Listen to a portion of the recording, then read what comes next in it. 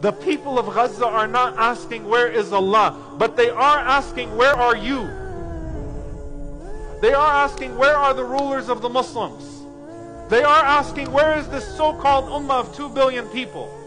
They are asking, Where is this political and military and economic strength that you supposedly have? They are asking, Where are these people that supposedly love Masjid al Aqsa and that follow a Prophet sallallahu alaihi wasallam? Whose first Qibla was Masjid al-Aqsa and who was taken from Mecca to Al-Aqsa to lead the prophets in prayers. And Allah subhanahu wa ta'ala sanctified that place. They're asking where you are, they're not asking where Allah is.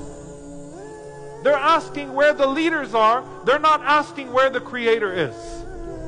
They understand that Allah subhanahu wa ta'ala has tested them in a mighty moment and they have a direct connection with Allah subhanahu wa ta'ala. They perceive Allah under the airstrikes. They perceive Allah through the hunger. They perceive Allah through the tears as they bury their loved ones. They perceive Allah subhanahu wa ta'ala even as they see the most beloved of people to them torn up into different limbs. They perceive the presence of Allah subhanahu wa ta'ala, but they feel the absence of the ummah.